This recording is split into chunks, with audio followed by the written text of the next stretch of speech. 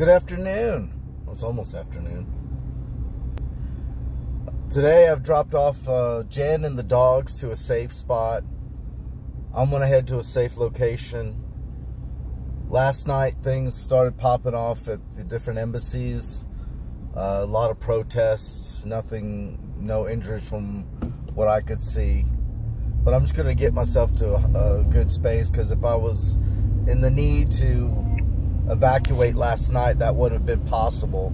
The roads were completely blocked off.